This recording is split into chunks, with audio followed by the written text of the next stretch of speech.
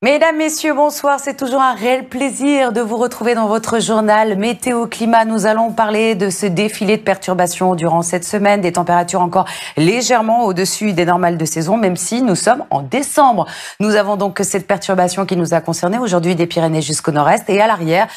Des fronts chauds suivis de fronts froids, une perturbation plus active pour jeudi. Ce soir, on retrouve encore ces averses des Pyrénées en remontant vers les Hauts-de-France avec quelques coups de tonnerre ici, des flocons sur les Alpes du Nord ou encore vers les Pyrénées et du vent autour de la Méditerranée. En matinée, beaucoup de euh, nuages sur le pays avec des averses un peu plus fréquentes vers les frontières du Nord-Est. On aura quelques flocons également sur les Alpes du Nord et déjà dans l'après-midi, l'arrivée de cette nouvelle perturbation ici sur la façade atlantique, du vent autour de la Méditerranée pour dégager le ciel. Les températures en matinée 4 degrés, c'est la valeur à retenir sur les régions centrales du bassin rennais au massif central et en remontant vers la Franche-Comté. Et dans l'après-midi, petite baisse des températures. On est encore au-dessus des normales de saison. 6 degrés à Besançon, 9 degrés à Paris, 8 degrés à Lille, 11 degrés à La Rochelle et jusqu'à 18 degrés en direction de la Corse. Pour la suite, au niveau des températures, alors très peu de changements dans un premier temps avant une baisse assez sensible durant le week-end. Mais d'ici là, nous allons retrouver eh bien encore les traces de la dégradation sous forme d'averses, essentiellement des Pyrénées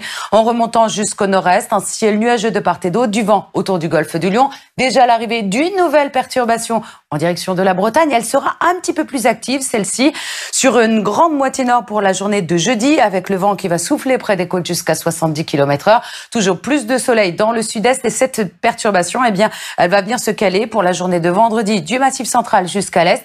Et à l'arrière, on voit déjà l'arrivée d'une nouvelle dégradation le long des côtes de la Manche. Direction maintenant l'outre-mer, où là aussi on va parler d'averses. Ça sera le cas vers Saint-Martin, vers la Martinique ou encore la Guyane, ainsi qu'à Saint-Pierre et Miquelon. 33 degrés en Martinique et 31 degrés pour Saint-Martin ou encore en Guyane. Le soleil domine vers Mayotte ou encore l'île de la Réunion où on partira de 22 degrés euh, au matin et on aura 10 degrés de plus pour la fin de journée. Et on termine avec encore ces averses très nombreuses attendues pour ces prochaines heures vers Wallis et Futuna ou encore vers le, les régions euh, centrales de la Nouvelle-Calédonie. Plein soleil vers la Polynésie avec jusqu'à 31 degrés. Tout de suite, place aux 20 heures.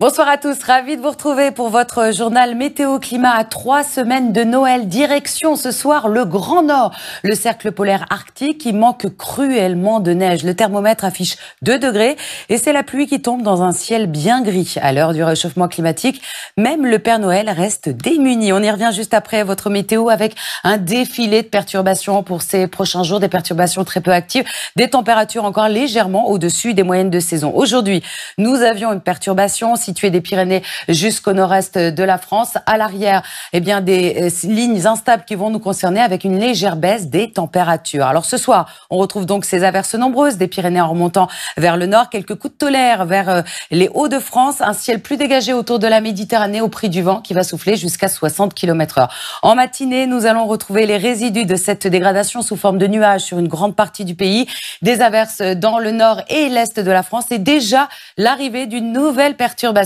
en direction de la Bretagne et sur la façade atlantique, avec des pluies un peu plus soutenues et toujours beaucoup de vent autour de la Méditerranée. Les températures en matinée autour des 4 degrés sur les régions centrales, jusqu'à 11 degrés du côté de Perpignan. Et dans l'après-midi, nous allons retrouver des valeurs qui baissent légèrement, mais qui restent encore au-dessus des normales de saison, avec 6 degrés du côté de Besançon ou encore d'Aurillac, 9 degrés à Paris, 14 degrés du côté de Biarritz et jusqu'à 18 degrés en direction de la Corse. Alors pour la suite, au niveau des températures, très peu de changements en vue avant une baisse assez significative à partir de samedi. Et d'ici là, nous allons voir encore un défilé de perturbations. Mercredi, une nouvelle dégradation qui nous concerne des Pyrénées jusqu'au nord-est. Arrivée déjà de cette nouvelle perturbation ici sur la Bretagne, qui sera plus active cette fois-ci sur une grande moitié nord du pays, avec le vent qui va souffler près des côtes jusqu'à 70 km heure, 60 à l'intérieur des terres et toujours un ciel plus dégagé vers le pourtour méditerranéen. Habituellement, à cette époque de l'année, le village officiel du Père Noël, Rovaniemi, en Finlande, situé sur le cercle polaire, est totalement recouvert de neige. La ville se prépare à recevoir de nombreux touristes et des enfants émerveillés par un lieu magique, enneigé et décorés pour Noël. Mais cette année, à quelques semaines de Noël, la neige se fait attendre. Dans un climat de plus en plus chaud, la neige se fait de plus en plus rare. Alors forcément, sur place, la magie de Noël n'est pas complète. Un sujet de Thomas Bayetto. Bienvenue à Rovaniemi. Cette petite ville finlandaise se vante d'être la patrie du Père Noël, mais en cette fin novembre, il manque un petit quelque chose pour que la magie fonctionne. La neige se fait attendre. Je m'attendais à ce qu'il y ait beaucoup plus de neige. Je veux dire, on a toujours l'impression d'être à Noël parce qu'il y a des décorations uh, partout, mais je pensais que ce serait un peu plus dans l'esprit du Père Noël. Ça me rend anxieuse face à l'avenir et un peu triste parce que c'est notre faute. Ici, au nord du cercle polaire, le thermomètre affiche 2 degrés. Dans la région, les derniers mois ont été particulièrement chauds sous l'effet du réchauffement climatique. De quoi préoccuper le Père Noël. Nous pouvons voir que le changement climatique est réel et il affecte les rennes. Il affecte la vie ici dans l'Arctique. C'est tellement plus beau quand tout est recouvert de neige et que cela donne vraiment l'impression d'être à Noël. Selon une étude récente, l'Arctique s'est réchauffé près de 4 fois plus vite que le reste du monde, la faute à la fonte de la banquise qui renvoyait une partie de la chaleur du soleil. Si vous avez des questions sur le climat, l'environnement, la biodiversité, vous connaissez le principe. Maintenant, vous nous écrivez en scannant ce QR code. On vous répond avec l'appareil photo de votre téléphone. Demain, on perd encore une minute d'ensoleillement et dans quelques instants, c'est votre série Les Invisibles. Je vous souhaite à tous une excellente soirée sur France 2, bien sûr.